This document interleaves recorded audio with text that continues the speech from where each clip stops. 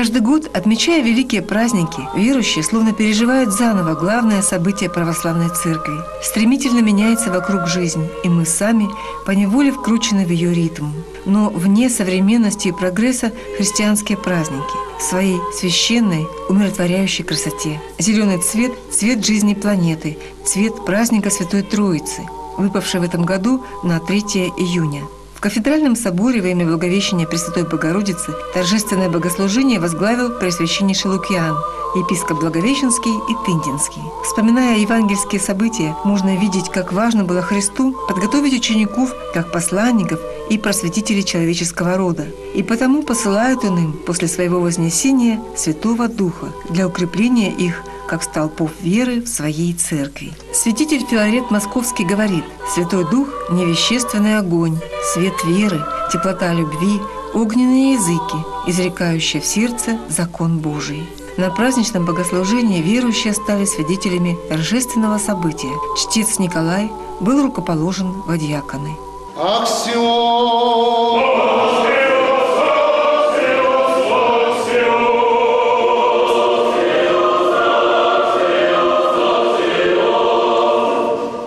Троицкое богослужение отличается длительным коленопреклонным молебном, и в этом его особая благодать. Трижды преклоняют колено верующие перед всемогущим Творцом Вселенной, перед троическим его единством, моля о милости и благой помощи Святого Духа во всех делах и начинаниях. Друзья мои, сегодня вся полнота вселенского мира празднует день рождения апостольской евангельской православной церкви.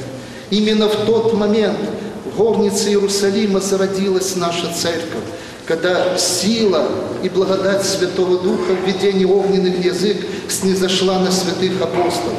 Все то, что обещал Христос своей земной церкви, которую устроил здесь на земле, сбылось. Те первые апостолы, и мы сегодня, люди 21 века, знаем великую тайну Святой Троицы, великий божественный замысел и промысел Божий о человеческом роде.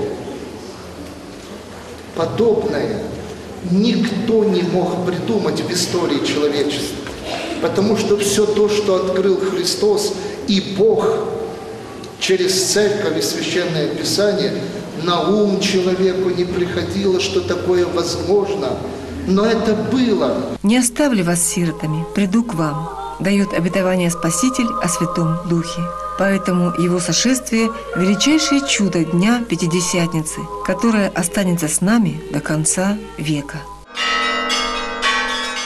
С 21 по 29 мая в Благовещенске и ряде городов Амурской области прошли Дни славянской письменности и культуры, включающие в себя мероприятия духовно-просветительской направленности – Главными организаторами их явились Благовещенская епархия и Амурская областная общественная палата. Завершились мероприятия, получившие также название «Кирилло-Мефодиевские чтения» в Институте развития образования Амурской области творческо-исследовательским конкурсом «Моя святая Русь». Проходил он среди учащихся амурских школ. В своих сообщениях и докладах ребята представили не просто интересный и познавательный материал об иконах, храмах и русских святых, но показали, каким духовно богатым может быть мир современной молодежи. Обсуждая замечательные исследовательские работы наших амурских школьников и учащихся колледжей, ну, мы решили, что надо издать сборник этих работ.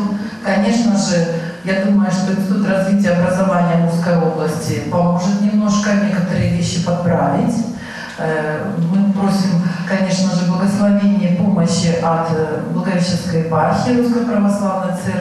Итак, исследовательские труды школьников, собранные в отдельные печатные издания, могут стать замечательным учебным пособием для педагогов, учащихся и студентов образовательных учреждений города в плане изучения культуры своей исторической веры. И мы очень рады и за педагогов, и за тех родителей, в которых вот э, выросли эти детки, и в целом за нашу Амурскую область, что мы вместе движемся к просвещению исконно славянских, исконно православных истоков. Приятно, конечно, порадовали и молодцы ребята, и участники, ну и, конечно, были у нас победители. Многое не для меня одного было именно Понятно, что это во славу Божью, но не только, потому что на пользу Отечества нашего созидается. Человек, как мы знаем из Священного Писания, он прежде всего существо духовное и о пище духовной, нежели о хлебе насущном, должен не забывать и всегда помнить, когда мы говорим о подрастающем поколении, о наших детях. Это особенно важно, потому что если не будет нравственного начала в нашей жизни, у нас какие бы ни были перспективы, как бы они ни звучали на бумаге красиво, они не будут достигнуты, эти цели. И слава Богу, происходят события, которые приятно удивляют и радуют. Я бы хотел выразить благодарность всем и организаторам, и участникам сегодняшней встречи. Оценив духовные плоды проведенного мероприятия, администрация Института развития образования Амурской области заверила присутствующих, что открывает двери для будущих встреч в неславянской письменности на Амуре. Дорогие телезрители, сейчас вас ждет очередная встреча с управляющим Благовещенской епархией, Пресвященнейшим Лукианом. Владыка, наша видеозапись проходит в канун великого праздника Троицы. Накануне праздника состоится поминальная суббота.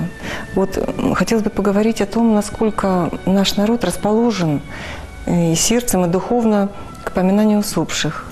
Я на Благовещенской земле э, являюсь епископом э, совершенно недавно – но то, что я успел увидеть э, как ситуацию, такую уже сложившуюся, то я скажу, что она печальная все-таки. Храмов мало. Старые люди, которые были, может быть, не церковными, но православными верующими людьми, они ушли и унесли с собой прекрасные обычаи и традиции – они, может быть, не всегда соответствовали э, идеям и нормам церковным. Но это были хорошие традиции, обычаи, которые возбуждали в людях вот самое главное, самое нужное, особенно сегодня.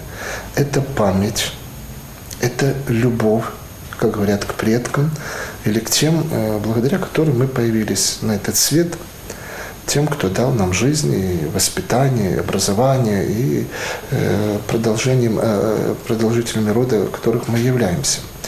Э, я хочу сказать о том, что я заметил, я проехал все-таки достаточно областей России, и я родился в Южном крае раньше большой России, да, Советского Союза. Сегодня это уже Украина – я видел, как поминают родных и близких, особенно э, в так называемые вселенские родительские поминальные субботы. Это праздник. Это огромнейший праздник. Люди переживают эти э, события как праздник – потому что это выражение любви, признательности, памяти к родителям, э, к дедушкам, к бабушкам, к своим друзьям, кто ушел в иной мир. К великому сожалению, у нас это не наблюдается. Э, кладбище у нас довольно-таки в печальном положении, очень много неухоженности и, и, заброшенных могил.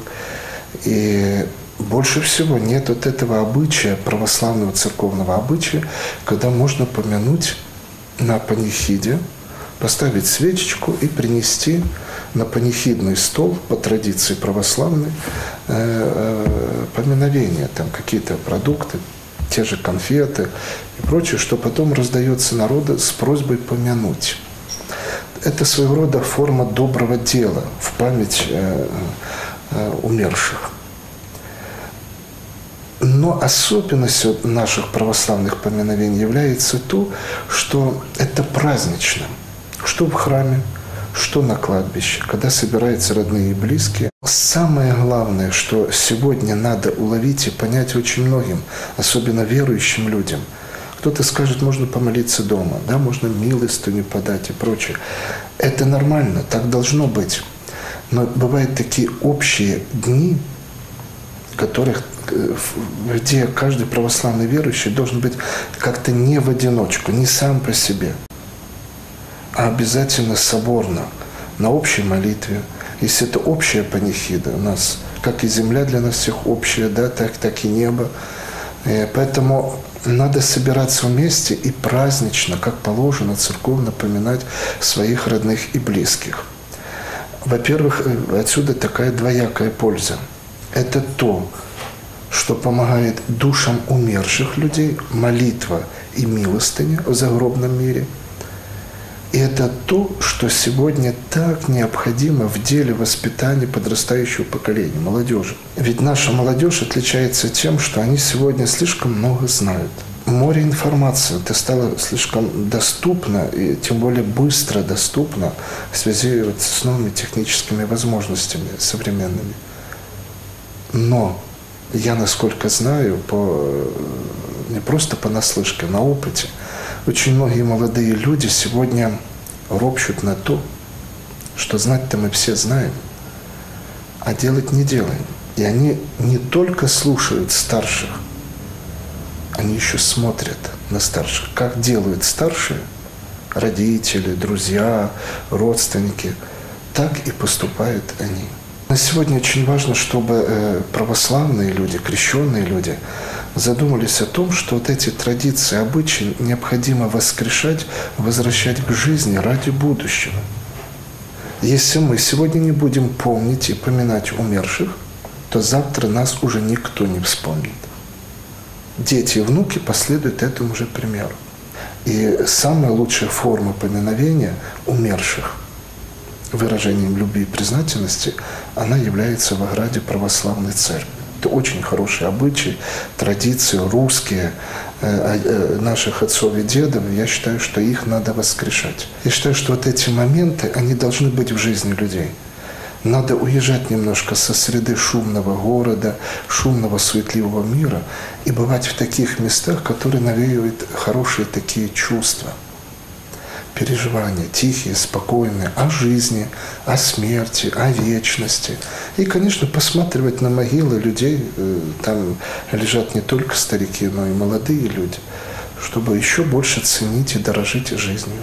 Благодарим за понимание и финансовую поддержку нашей программы Благовещенскую епархию, торговую компанию «Полиграф».